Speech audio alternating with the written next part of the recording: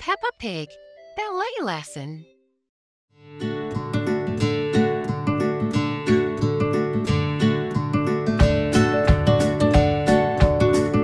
Mommy Pig is taking Peppa to her first ballet lesson.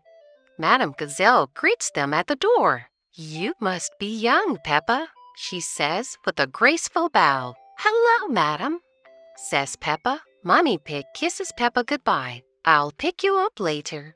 Enjoy yourself.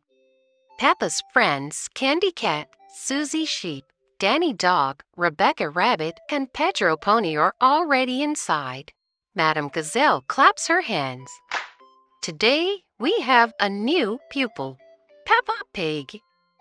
It is time for the ballet lesson to begin. We will start with a little jump, says Madame Gazelle. A petit jeté. Peppa watches as Madame Gazelle shows everyone how to jump like a ballerina. Leap with grace and beauty, Madame Gazelle tells the dancers. Peppa and her friends try the little jump. Thump, thump.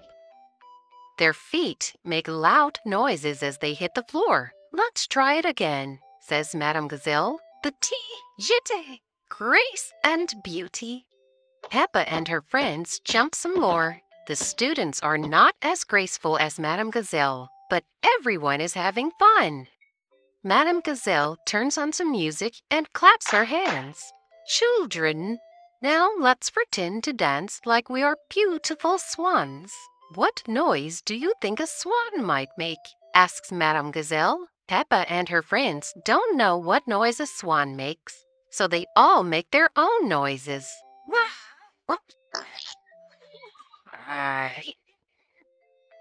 The dance lesson is finished. Mommy Pig comes to take Peppa home. Peppa did very well, Madame Gazelle says. Thank you, Madam. Peppa is very happy. At home, Peppa wants to show her family what she has learned. I am going to teach you how to do ballet, Peppa announces. Is it difficult? asks Daddy Pig. You must copy exactly what I do, says Peppa. Madame Gazelle used funny words, but it's just bending your knees and jumping, really. Uh, Peppa turns on some music and shows Mummy, Daddy, and George how to do a little jump. Daddy Pig smiles. Oh, the petit jeté.